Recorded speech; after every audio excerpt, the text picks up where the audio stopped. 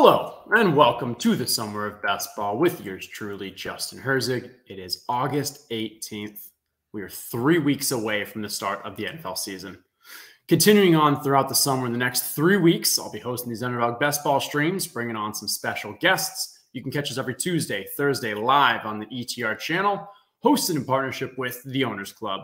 Launching soon, a new way to play best ball. Also, I want to give you all a heads up to let people know that everyone who signs up for the ETR Draft Kit Pro will get a free $10 at Underdog. Comes with best ball rankings, content, season long dynasty coverage, everything you need. Even if you already have that Underdog account, you'll still get the free $10, no strings attached. And once you get Draft Kit Pro, head over to the Underdog Content Hub on ETR to claim that $10. And if you're new to Underdog, it's not too late. Promo code ETR will get you that $100 deposit bonus. And now, with us this afternoon, the king of the Elijah Moore fan club, the man who was a stat correction away from making the inaugural draft best ball championship, the CEO of Matthew Berry's Fantasy Life, Mr. Eliot Crist. How are you doing? I got to be honest, I was doing a little better before you reminded me about the stat correction. It's kind of it's funny we got to meet in person at the expo, but it's uh it's rivalry is the wrong word, but uh I had to pick a rival. Would be you because of that stat correction that kept me out of the championship. I mean, you you single handedly shut down draft because of their uh, lack of acknowledging your Thursday stat correction. Um, that's the, heavy. Where's the crown? Yeah, yeah. Uh, listen, man, it was a, it was a good time. It's pretty crazy. That was like the one time the NFL put out stat corrections on Thursday instead of Wednesday, and Zeke did not fumble, and it was the difference between me going to the championship and you going to the championship. But uh, you know, you live and you learn, and and this year I'll take down the two million top prize, and you know, it'll be water under the bridge.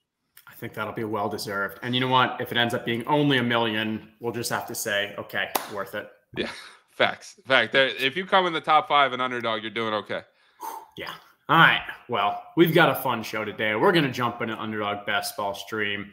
Um, let's. uh So First off, you were at the FF Expo as well. What's your uh, what was your one big takeaway? I got to talk a little bit um, to Overzet about it on Tuesday, give my thoughts. But for you, what's your kind of one or two big takeaways of that weekend for the industry? I think there's a, a lot of truly like special human beings in the industry. Um, I think the more people I got to meet, talk to them face to face, learn about people's stories, uh, the the more you can humanize online interactions. I think that the better in this community because so much of it is a debate and i think that's important not an argument and when you when you get to meet people and establish those relationships i think it pushes all of our content that when we engage on social or shows forward just gives us better chemistry.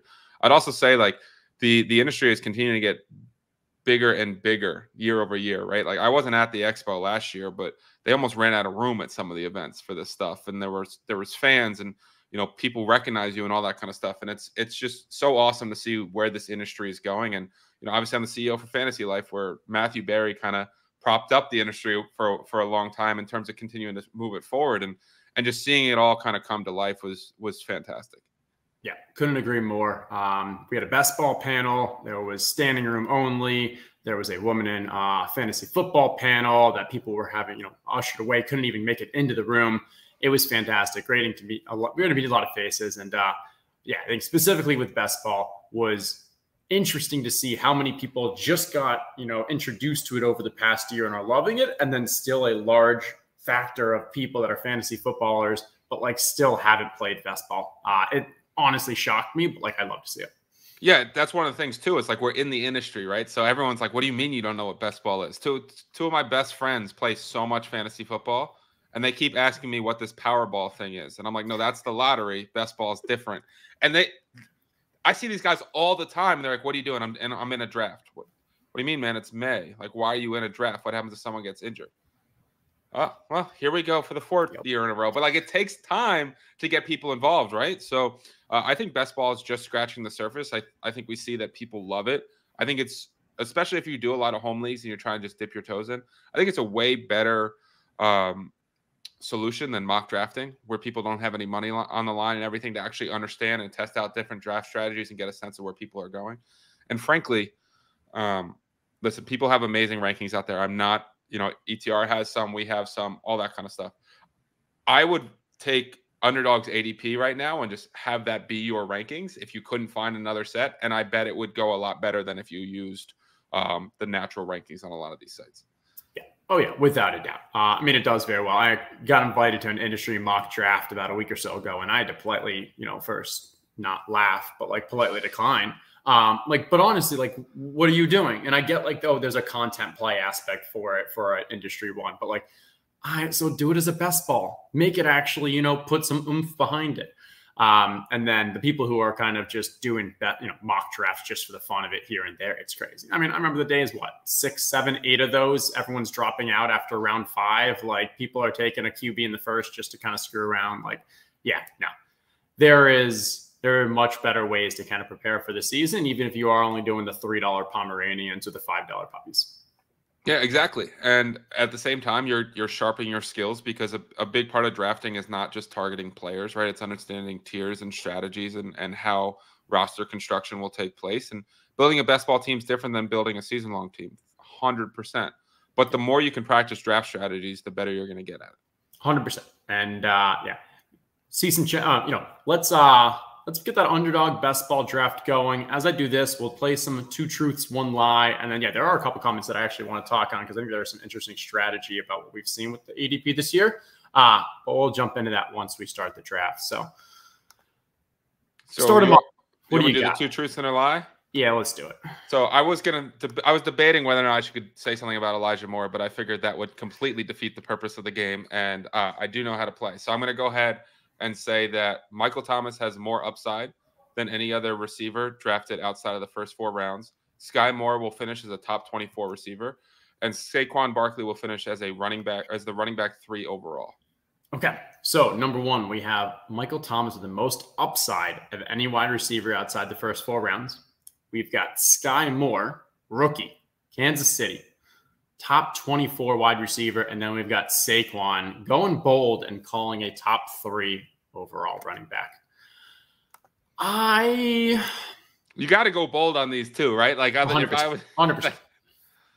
I, I think, okay, so I'm going to take my guesses on yours. Uh, I know that you're high on MT. Uh, I'm thinking, you don't have to give away yet, but I think that that's your uh, definitely one of your truths. Between the Saquon, I know you put out a tweet about a Madden game around Saquon being a first rounder. Is this like a little, is this kind of uh, showing the confirmation bias from the Madden? I don't know if you've been on Sky Moore. I'm going to say that Sky is the lie. And uh, it's hard to be a top 24 across the season as a rookie. He may finish as one, as in, you know, points per game with those like last playoff stretch, but it's hard to get that across season. What's the truth? What's the lie? You nailed it. Um, I, I've, honestly, I think Saquon Barkley and Daboll's system and being fully healthy, I think he's you know he's the guy going in the second round right now. I think he'd be the RB one overall, though it's going to be Christian McCaffrey if he doesn't get hurt. Um, Michael Thomas, obviously, I he looks fully healthy. It was a concern a while ago. Like those eighth round best ball Michael Thomas shares look phenomenal right now. Jameis Winston has supported uh, wide receiver ones uh, big time in his career, and it's a couple years ago he was the you know, he was the Cooper Kupp of the NFL, right? Just was getting massive volume. No Drew Brees. I think the A dot improves a little bit, but I just I think he could be a target hog again. And Sky Moore's a guy that I like. I know he's just so popular. One of my teammates, Peter Overzet, absolutely loves him. Uh, every time I say Elijah Moore, he says, "You mean Sky, right?" Um, or or I say, "How much Elijah Moore exposure do you have?" And he sends me screenshots of Garrett Wilson. But um, yeah, I, I think Sky Moore is kind of uh, he's he's a highly volatile guy right now that has a lot of industry love. So I tried to sneak that one in there, but I guess the the Madden video is what gave it away. it must have, but uh, yeah, I mean, I think both those are pretty bold. Um, for me, like I think the Michael Thomas, I haven't been drafting him at his current value from more of a game theory aspect, where I was, you know, hammering. Here, let's take a look. Um, Michael Thomas. Yeah, so I was my average ADP on him is 85, and I was going pretty heavy on him early on, um, all the way to 56. I think like I don't disagree with you that he still has that upside. I think there's caution that needs to be taken from a best ball perspective, just because if you are drafting him now, you are giving up substantial leverage against the field. Um, but he still could smash, and like that still could, you know, surpass his what fifth round, late fifth round value right now. Yeah, I, and I completely agree with you. A lot of my Michael Thomas shares were uh, earlier. It's it's like George Pickens. I think you said that too, right? The best time to to plant a tree was 20 years ago. The second best time is now. Like Pickens, uh, uh, I was talking to someone at the expo about it. I would have drafted more of Pickens in the 15th, 16th round, but I was like, I feel like I'm just clicking this button every time. I was almost getting draft fatigue of drafting yeah. George Pickens. And now here he is in the 10th round, somewhere between Randy Moss, Jerry Rice, Terrell Owens, Calvin Johnson, and Julio Jones. Um, I mean, did you know he's the first player to make the Hall of Fame before playing an NFL game? It's it's. I actually heard they're renaming uh, the Hall of Fame. They were they were painting over the field and calling it the George Pickens Field. Um, I do I do think there's a lot of validity to it too because his his profile was phenomenal, but his breakout age was phenomenal. His athleticism. I, yeah. we're on the clock though, so uh, we have an interesting situation. I'm not sure if I have ever compa- compare uh, combined these two, a Dalvin and Henry. Um, what are your thoughts on going with a unique build from the 12-13, or do you dislike one of these guys too much? Uh, I'm big on Dalvin Cook, as I see you are too, with the 22%. So I think that makes a lot of sense. Henry is one of those guys that I fade, but at 113, it's not terrible. Uh, I think there's not a receiver there that has value. Um, and Saquon's gone. Typically, for me, I'd go Travis Kelce uh, in this spot, um, but I'm good with Henry or Kelce. Okay. Yeah, I agree with you. Um, I'm definitely more in the Kelsey than Henry. Even my 7% was kind of earlier on in the offseason um, when I didn't have a full, I guess, my, my full grasp on things. Uh, definitely have slowed down and You could see I've got him ranked, and ETR does after Travis Kelce. But I think this is one of those examples where you got to go for the uniqueness. I think there are probably very few teams that have Dalvin and Henry to start this off with both of them having ADPs around that eight area. Um, so happy to take that uniqueness here and lean into a RBRB start. Yeah, absolutely. And now you kind of you you basically set your team up that if Cook and Henry stink, well, your team's dead anyway. So you don't really need to add that much more at the running back position. For me, this is where I start looking at um, does Kyle Pitts fall, which he continues to climb up boards. Does uh, what receivers are there? Probably Jaylen Waddle, Gabe Davis, that that range of guys. But uh, DJ Moore. Yep. DJ. Love love me some DJ Moore in that area. And yeah, well, we're gonna have picks 36, 37. DJ Moore, I think his ADP was let's see, was it still 39? Who is it moved up a bunch? I'm trying to yeah, 33. Okay. Maybe DK, he's still a little lower, but yeah. Um, but, but yeah, would, would love that. We'll, we'll see what falls to us. Um, all right. I said I was going to mention one of the things with uh, Jordan earlier. So yeah, Jordan mentioned we were talking about the ADP aspect. Like feels like you know with less casual, it's a lot less stacking recently. Um, and so I think I think there's an interesting conversation around ADP with regards to stacking and how you mentioned like, hey, if you just went off of you know underdog ADP versus ranks.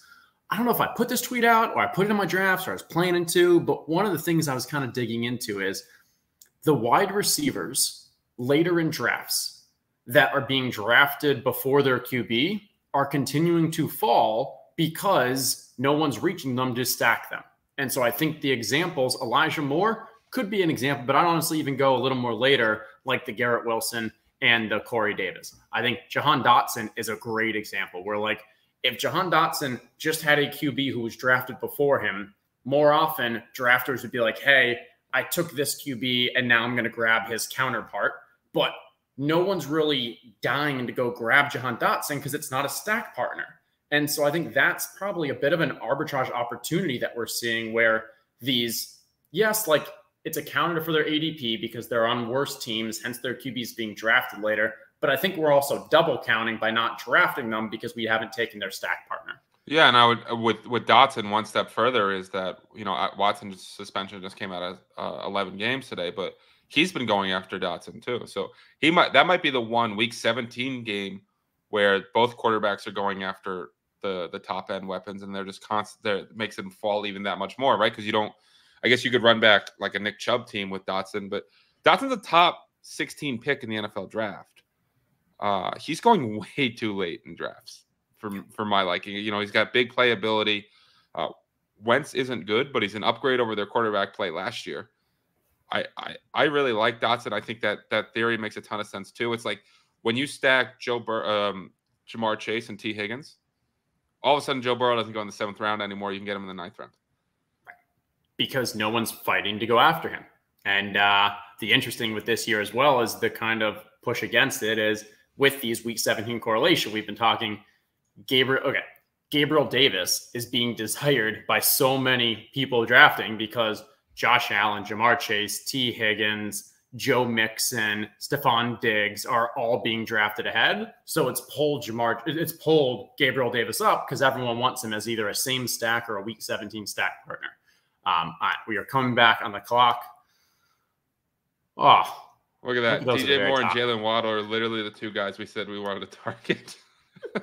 Just, uh, you know, usually on these streams, and you can tell I am very heavy on both of these guys. Absolutely love taking these wide receivers. Um, yeah, usually on these streams, you get a little, uh, you know, people want to take them, but today people are feeling nice. Happy Thursday. Yeah, I think the great thing about DJ Moore's year over year consistency on the yard side is there. The the red zone usage is there. They just haven't gotten in the red zone much. And is you Baker Baker might may or may not be good, but the question is, is Baker the best quarterback that the Panthers have ever had with DJ Moore? You could probably make an argument that he is. And uh, Jaylen Waddle is the second year uh, breakout candidate, right? Like I know JJ Zachariason and, and Matt Harmon and a few other guys have talked a lot about this. Is that second year receiver is really who you want to target? And Waddle seeing 140 targets. That Dolphins offense to me is so interesting because I don't know how you guard them from just a, a stylistic standpoint of Waddle speed, Hill speed. Gesicki is an elite athlete, and Cedric Wilson is one of my favorite last round guys to grab too. So uh, I'm big on Waddle. I know that Hill's there. I know it seems a little rich, but that second year breakout with that first year production, you can get a all pro receiver um, like that. Yeah, and between Tyreek and Waddle, if anything, I think Tyreek is the one who's probably maybe getting drafted a little high, but like I still like Tyreek. Um, but my point is, I think Waddle is, if anything, the value, and he could, and I think Leone actually was talking about this. Like Waddle could lead the team in targets; it wouldn't be a shock uh, with the style of play, with the connection, the rapport that they already have. Uh, you know, the bold, the, you know, the bear case of this is people talking, okay, well, where are these targets going to come from if Tyreek's going to start commanding 140, 130 targets, whatever it is? Uh, personally, I think that H is going to be a more efficient offense. I think we're expecting, hey, that full year out of two without the injury, um, and hopefully that what third year uh, leap. Um, but also, I think Gesicki is going to be the loser, and so so has been heavy on this, like putting him on his do not draft list. Uh, if Gesicki's not playing that wide receiver type role that he used to in the past, that is where a lot of these additional targets are going to go to. Cedric Wilson, Tyreek, and Waddle can maintain his. So uh, I'm not scared of the you know additions here. I think it just becomes a stronger offense, and uh, yeah, Waddle still has the opportunity to smash. Yeah, I, I agree with you um, in terms of I think Gesicki's not the worst um, stack option, just in terms of being a little bit different. If a if a Tua team with Waddle gets you there, and then all of a sudden everyone has uh, doesn't have Gesicki and you know all that stuff for for late. But I, I like this Dolphins team in general. Um, there's been so much made about Tua's accuracy, but his ball placement is phenomenal, and that's huge for run after the catch. And that's that's a big part of Waddle's game. So if Tua takes a step forward, one of the ways you continue to get more targets is they have more pass attempts because they're more efficient. They stay on the field uh, on top of the fact that Gesicki could lose some. And I, I, think mostly it'll be like Hill and Waddle, and then if you take completely take them away, Cedric Wilson and Gesicki will will eat eat you alive. Are you cautious, fearful that with you know Mike McDaniel coming in, that they just become far more of a run first team? I mean, we did see that with him in San Francisco. We know he has that tendency. Now, the after the catch ability and what he's able to do and put his uh, receivers in space is phenomenal but like I'm, I'm a little scared. I'd say that's where my concern comes in is what if this is just a run heavy team and now there's just far fewer uh, pass attempts than we're projecting. Yeah, it, I, is it a possibility? hundred percent. I think it's also a question of, you know, coaches have their tendencies, and they also have where all the team just spent all their money. Like they literally just built the team for Tua to be successful. They got an elite pass blocking left tackle they went out and they traded legit draft capital and make Tyreek Hill the highest paid wide receiver in football. Um, I don't know why you do all of that and then just say, "Hey, Raheem Mostert and Chase Edmonds, we're going to rely on you to win games." Right. Yeah. That that's what makes me feel good is because teams when they spend money, they want to use those players. Right. Same argument with the I mean with the Eagles. You don't bring. You don't bring in AJ Brown to just run the ball all day. Yeah.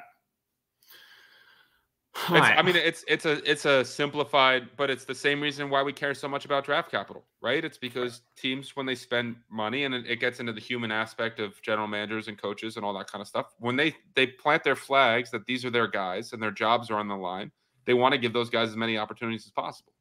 Yeah, completely agree. Um, all right, we are coming up on our turn. I think an interesting conversation is so we go Dalvin Henry, Moore, Waddle. None of these have a stack partner in like an elite QB. Um, are you kind of thinking like, hey, I'm just gonna, you know, maybe go with two or three of those mid-late QBs, maybe a Cousins, a Tua, or is it no? I still want to try to get an elite-ish QB and then find some later stacks. Yeah, I, I don't mind uh, Kyler or Jalen Hurts in this range either. Um, Chris Godwin, if he makes it to us, I think is a that's a a late area for him to go. Um, and we know he's got a lot of upside.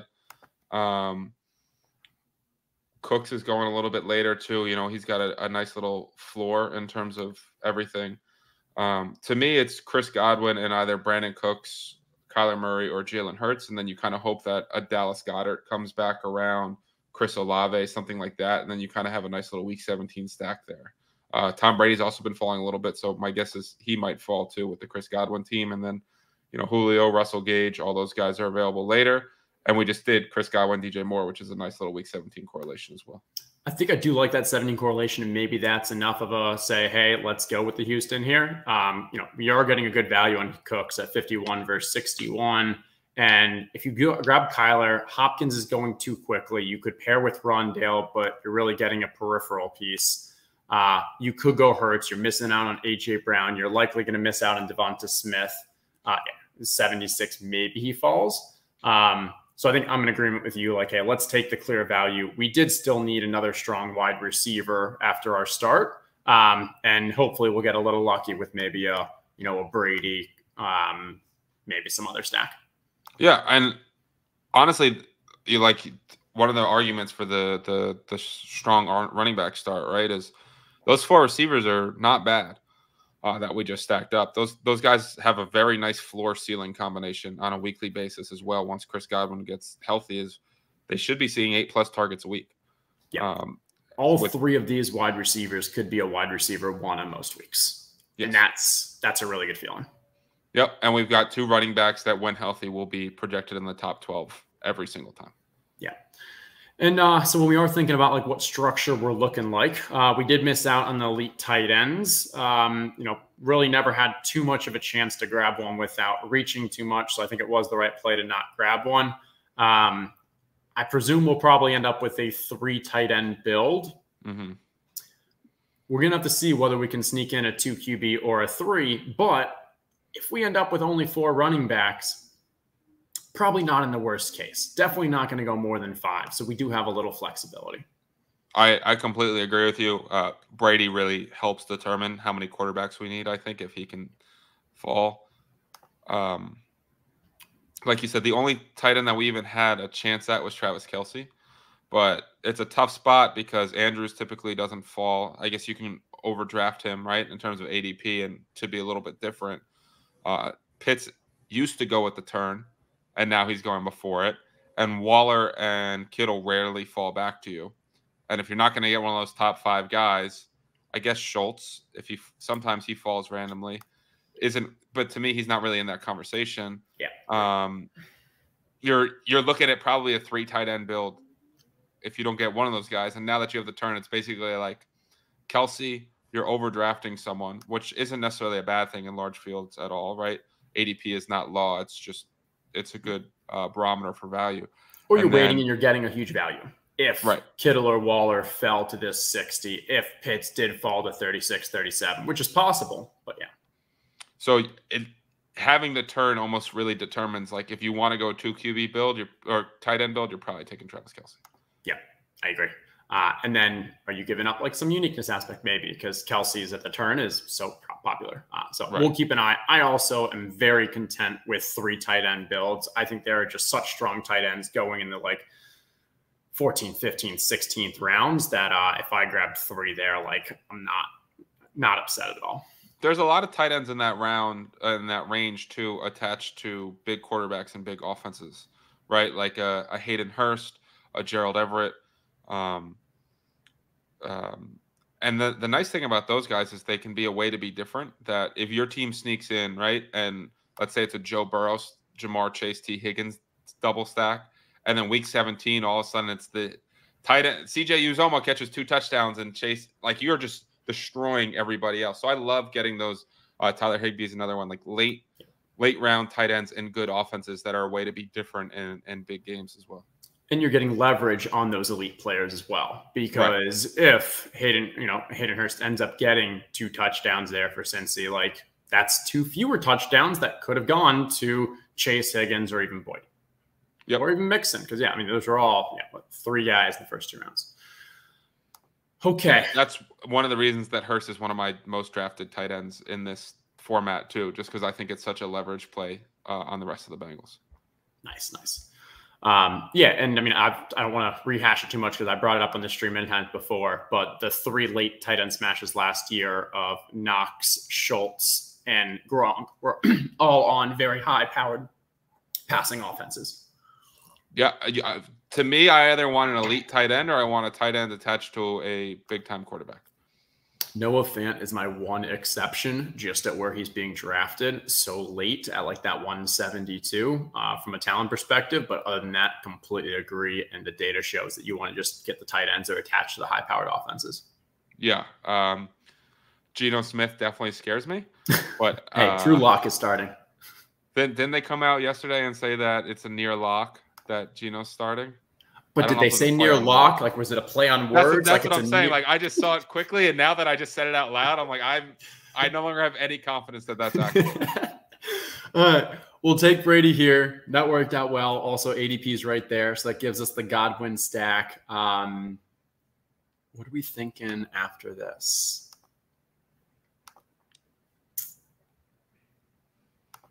I was gonna say, I actually really I'm like Clyde Edwards. Uh, okay.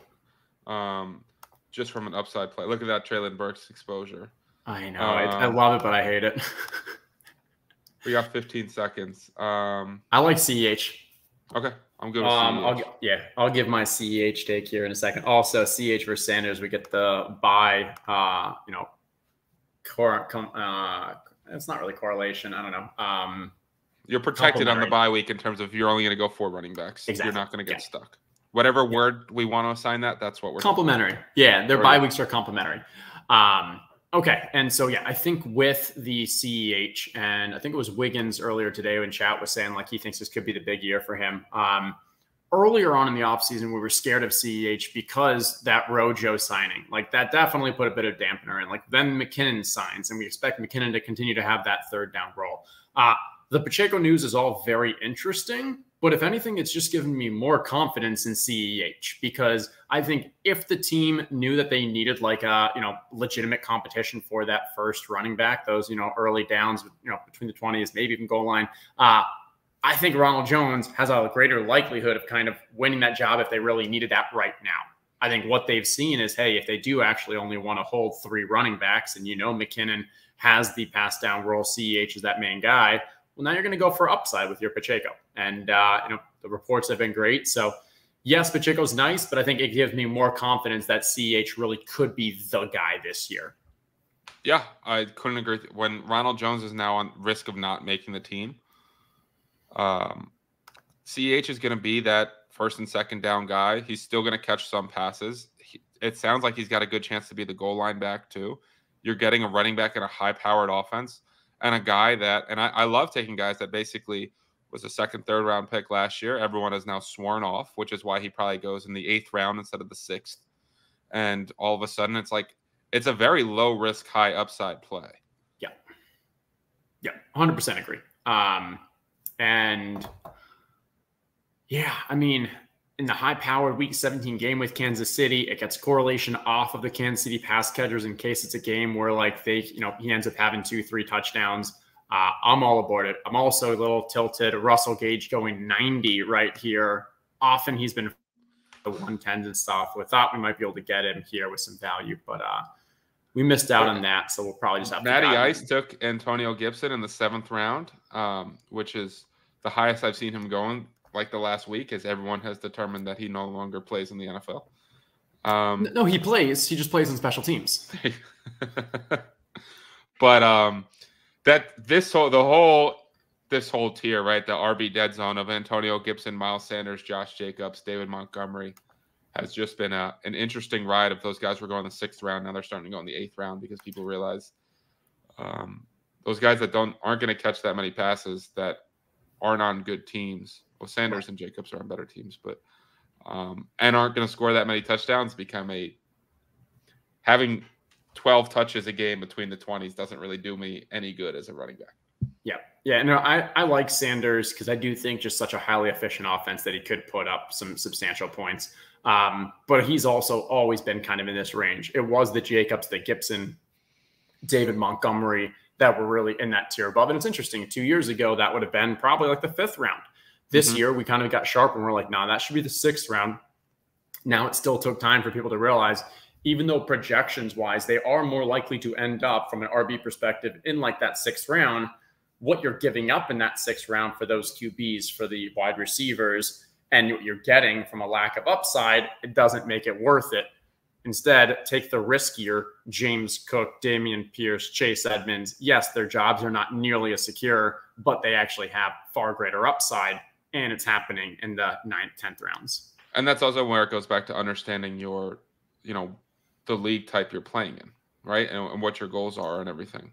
Um, because you want that upside, you want to capture that upside, and you're you're swinging for the fences to try to win two million dollars. You're not trying to beat twelve people. It's a completely different. Um, what do so you feeling? We're in the end of the ninth. Oh wow, there's Pickens. Um, speak of Randy Moss. Um, if there was a running back that you like, we could secure a four RB build. Um, there's a little value here with like a Penny Walker, Singletary. I was gonna say with Walker having the groin injury or hernia injury that he just had to have surgery on. Um, I think I don't hate Penny. Um, they're going to give him the ball a lot. Um, I like Garrett Wilson. I think it was Mike Clay who talked about basically the history of receivers going in the top 10 of the draft, finishes top 30 receiver, a top 30 fantasy receiver like 80% of the time their rookie year.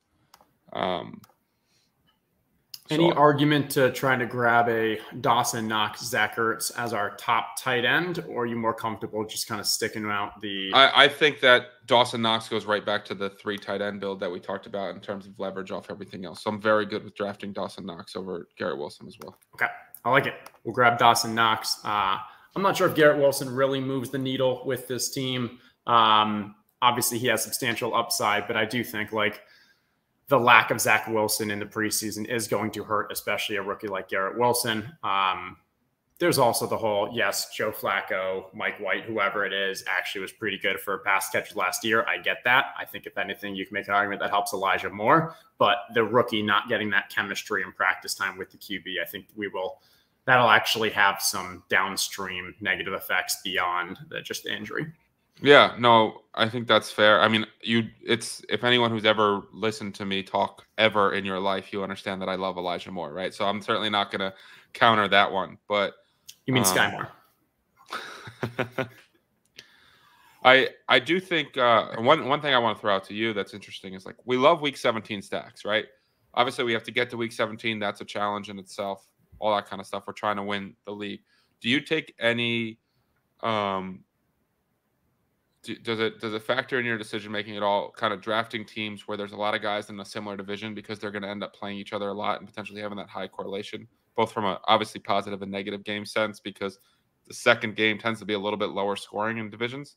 Um, but I just I've thought about it before. Just curious as your take on it.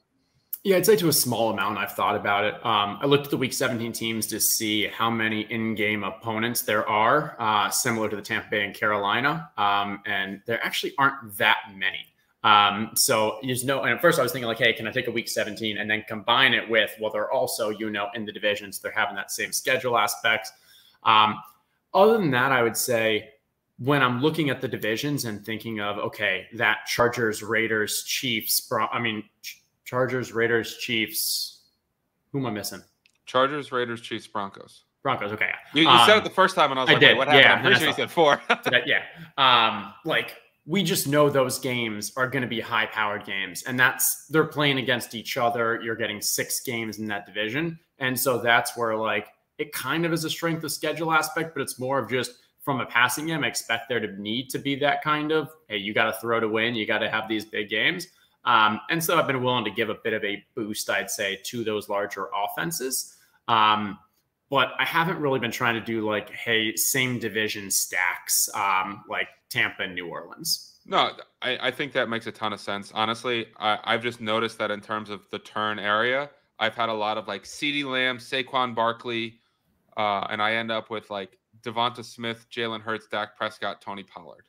And I look at my team and I'm like, oh, there's going to be a lot of correlated correlated weeks throughout the season. Um, and then, you know, typically with um, that you obviously want to f- try to find a Titan or a Saint or uh, a Colt. I do love.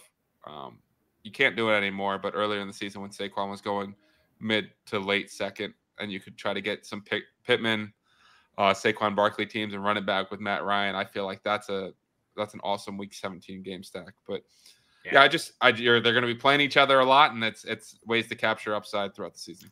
And they also all play one other same division. So yes. if like even though yes, we're bad at predicting uh, defenses and scoring across a season, but if you ignore that you're trying to say which is good and bad and just accept that like hey Tampa New, Tampa New Orleans their schedule they're still going to play the same out of conference division whichever one that is and like maybe that division whoever it is has three four really bad defenses those teams now get the correlation of both getting to play that team so like there is some edge there. Um, me, it's like I the Bills and Patriots yeah. last year got to play the Jets four times combined, and all of a sudden the Patriots scored 55 points, and they're like a top five offense on the top 10 offense on the year. It's sometimes when you get to a lot of teams get the same couple bad opponents, it, it allows for more spike weeks. You seem a little sour. Um, Oh no, I'm not sour. The great thing about the Jets, uh, being a Jets fan, is it really helps making the transition to gambling and fantasy a lot easier because you don't need to care because you know they're going to lose.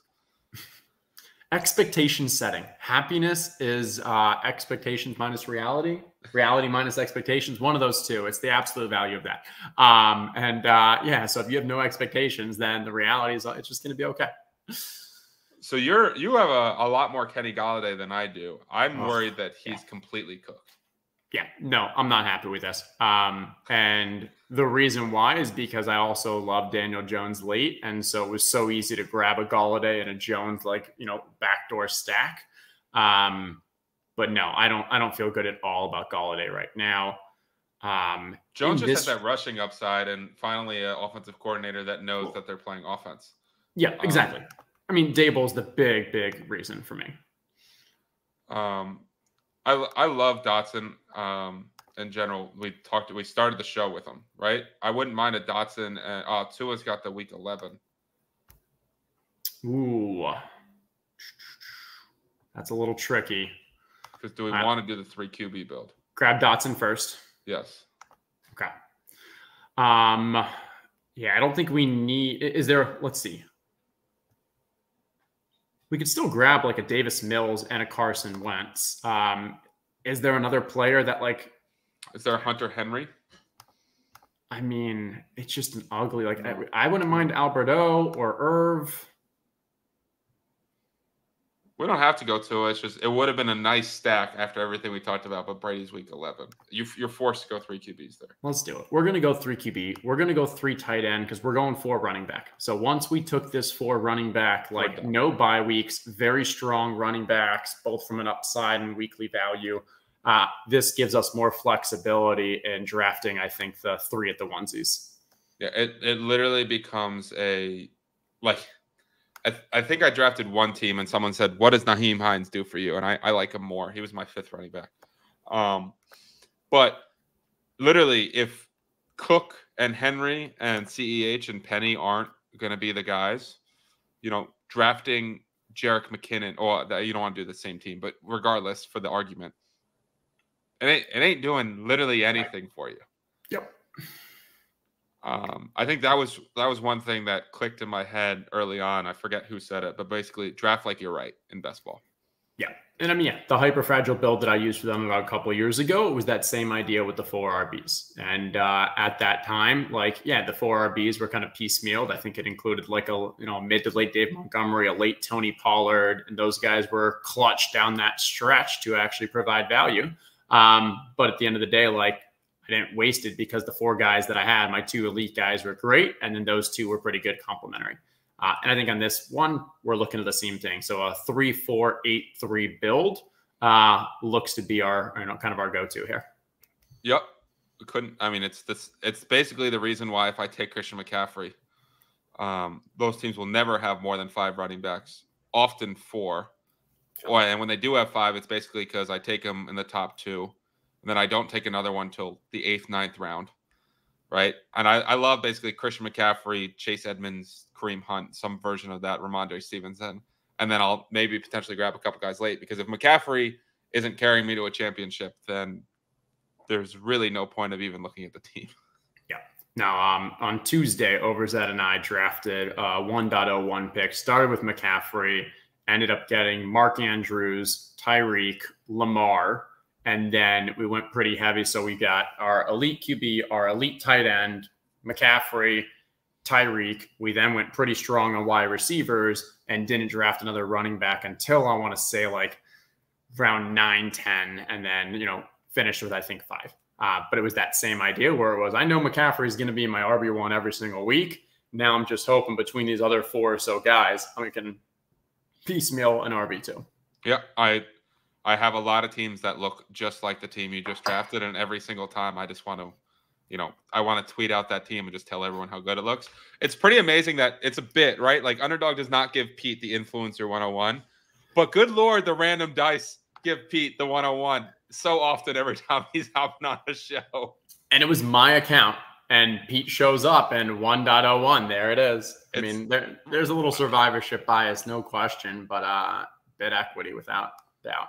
It's it's it's pretty and then he does the sleeper bowl and literally gets the 101. It's it's his luck with getting the 101 is I guess it's assuming McCaffrey stays healthy, uh, is incredible.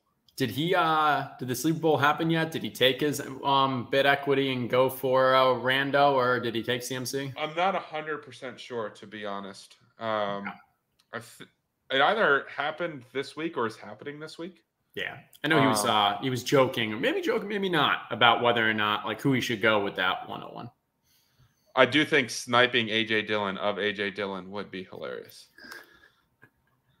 Um, and then Damian Pearson—is there a rookie running back I'm thinking of that's in it? Uh, yes. There's another NFL player, but I can't remember who he is. I just think it might have been okay. He took CMC, Stogie, and GA are saying, okay, so the bit was the faking it out, and then the real was the actual drafting. It makes sense. Okay, coming back around to us. Um, God, I love chats when they can just figure it out for you while we just struggle on camera. So I was thinking about putting this person in our for last pick because I think he's dropping because of the potential growing, but like injury's not serious. What a great yeah, I, best ball pick. I like I like Mecole Hardman here. Uh, again, now we're going off radar with the Chiefs. A lot of leverage with the Mecole Hardman, Clyde Edwards-Helaire. Um, I don't. We didn't take Tua last time, right? We did. Oh, we did. Do we take Gesicki here then? I mean, doubles. I think we do, to be honest. Yeah, I've been trying not to take him as much, but we are uh, eight picks past ADP on a team that we're stacking, on a team that we need a tight end. Uh, it all kind of just makes it's, much. It's him or Hunter Henry to get the other side of it, in my opinion. Yeah. Let's let, us let us do. I'd rather take the season long correlation versus yes. the week 17. Uh, billion uh, percent. I'm just and the other thing is we are now um we got Dawson Knox as other tight end. So uh that's uh if the Dolphins do take that step forward, like we're talking about, those are two tight ends attached to very good offenses. Yeah, without a doubt. All right, let's get a quick refresh on the team right now. We let's do it this way. We've got our two QBs in Brady and Tua with the bye situation. We're still going to need to grab one more. Thinking about who that person could be. People that jump out to me, we got Davis Mills with the Cooks. We got Carson Wentz with the Washington here. We got Baker Mayfield with the DJ Moore here. Maybe even a Robbie Anderson if he falls. Um, I think that makes sense. From a running back wise, we've got our two studs at the top, CEH and Penny to round it out, all different bye weeks, almost assuredly locking, stopping at four. Talk to me about our wide receivers. Yeah, so I mean, I think like we were saying before, there's it's it's a really nice balance of floor and ceiling in terms of locking in a lot of guys with eight plus targets and DJ Moore, Jaylen Waddle, Chris Godwin, and Brandin Cooks.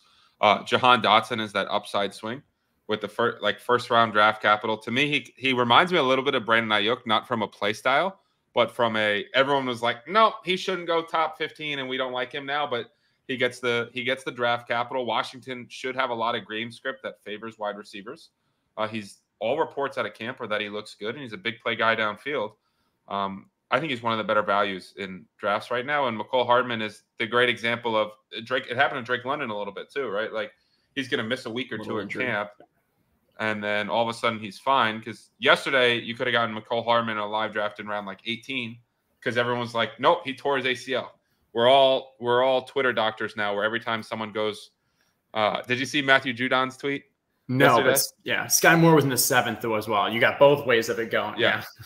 Matthew Judon, the the the defensive player for the Patriots, uh, the beat writer said Matthew Judon. Uh, uh, yeah, exactly. Went, went to the, he, he went to the, the field, room. and then he's yeah went to the locker room and he's like, yeah, I had to pee. Like we are we are too reactionary with some of this stuff. Like it's gonna come out shortly. We don't need to diagnose every at the expo because I was wearing the Elijah Moore jersey. No less than 25 people came up to me saying, "I'm so sorry, Zach Wilson towards ACL." Yeah, that was a, a six-hour period. Not even six-hour, but uh, just the roller coaster of ACL to PCL to bone bruise to yeah. It's almost like a, a blurry image. You're like, it takes doctors years to be able to touch someone's knee and have a, a guess in terms of what's happening.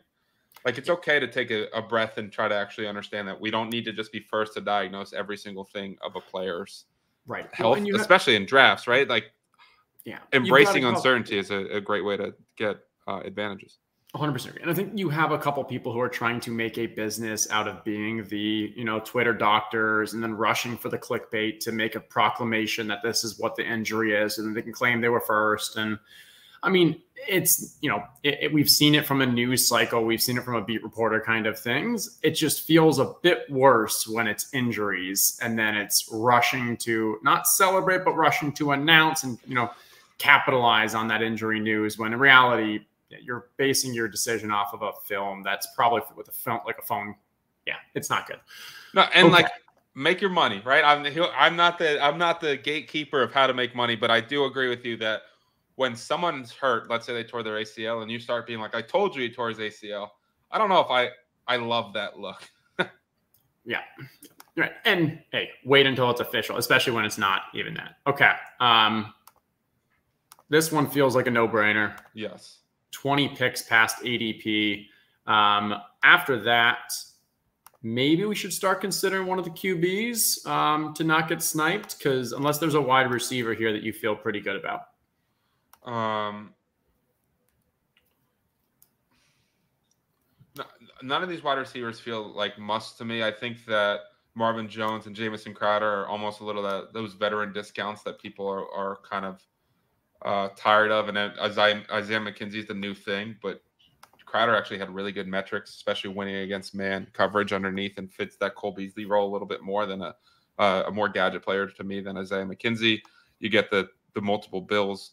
Um, so for me, it would probably be Jamison Crowder or one of the quarterbacks. Um, Let's but, do Jamison because I mean, I don't feel any different among these three QBs. Makes None no literally no difference on earth to me who we get there.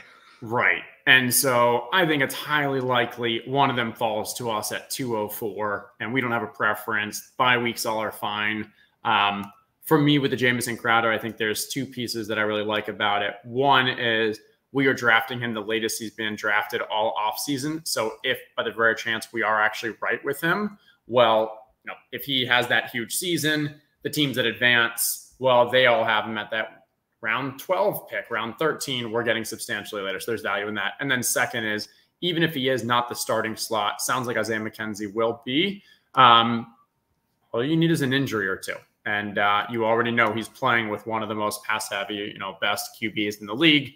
Uh, so it's just a hey, in round 16, we're getting a piece of the Buffalo Bills passing offense. Yeah, I'll take it. And now we have two pieces, right? With Dawson Knox Dawson and Knox Jamison well. Crowder. Like that's very cheap exposure to potentially the best offense in football.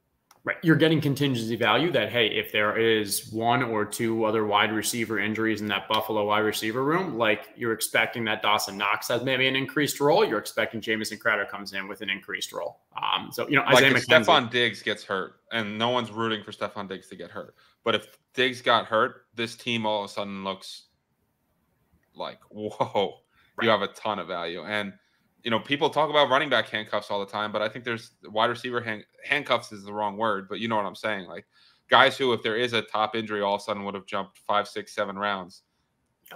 It's not the yep, worst strategy. Great. Contingency value. Um, and then, so just rewinding a little, uh, Tyler Allgeier was the one who uh, was also in that draft. Rookie running back, I knew. I was wrong with Dameon Pierce, but there it is. Didn't um, he come out eighth on the initial depth chart? Not that those matter, but that was pretty funny. Yeah, I mean, all these depth charts, it's either one of two things. It's literally either an intern who's just putting it together, or in that situation, which I think actually happened, is the coach is actually saying, "Hey, put him all the way down to give that inspiration." He's um, up to um, fourth, so look at that. He's he's shooting up the depth chart at this point. Just round of applause for Tyler. I mean, there's I don't know how many running backs can move up a depth chart four spots so quickly. Like yeah. impressive. Breece Hall came out third on the depth chart, right? And he actually dipped in drafts. He started to go that day. I got him in the fifth round a couple times, and I was like, guys, he's he was the 34th overall pick in the draft. Like, yeah. I mean, who was ahead of him? Ty Johnson. Yes. Okay. Yeah. Um, again, just rookie veteran aspect. Now, all jokes aside, I am on team Michael Carter. I think that Michael Carter is going to have a far larger role than people are expecting. Um, and so I think he can come out with a actually a you know a lead in the backfield to start the year. By the end of it, I think it might be a bit more of like a 60-40. Um, and I wouldn't be shocked if Carter actually um, gets some high value touches uh, and or gets like the receiving work. That was two those two Mike White games. He had what eight and eleven either targets or receptions. Um, they know how to at least use him that way. It'll be interesting for the first couple weeks with no Zach Wilson, Breece Hall still being a rookie. Like, does Michael Carter actually have like a substantial role in that offense. I think so. I think one of the great things at their price is that I think you can make an argument that both guys are very good draft picks at their price. I think Breece Hall is uh I mean he's he's an elite he was an elite prospect with game breaking ability that has uh uh pass catching upside. They traded up to get him. Not that the stat matters, but I think it's fun to know that he was the highest drafted running back for the Jets since 1990. Um, Michael Carter was he was also a great prospect, right? He was the first pick in the fourth round. He averaged the second most yards after contact in all of college football outside of Javonte Williams. Uh, he's got a lot of skills in the pass game, and he goes in that 140 to 150 range around guys that are literally fourth on the depth chart right now. Obviously, we're you know just joking about it. So I think that Breece Hall is one of those guys that his ceiling season makes him. A, he's going to be one of those guys that's a first round pick next year.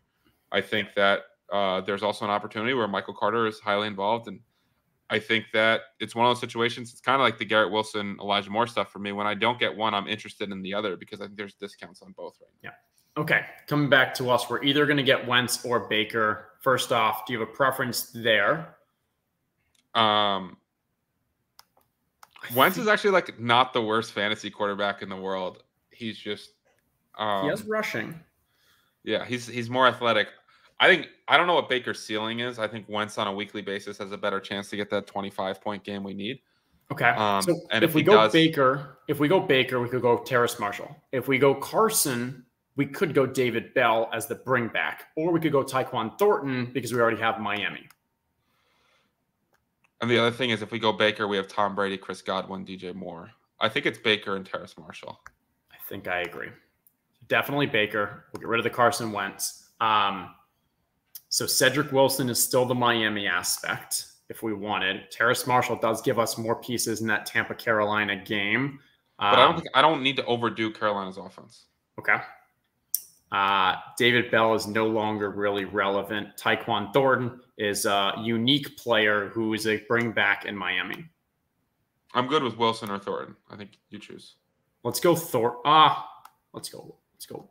What do we go? We went Thornton. We went for the uniqueness aspect. We didn't have a bring back in the Miami in the Miami game, uh, so that works.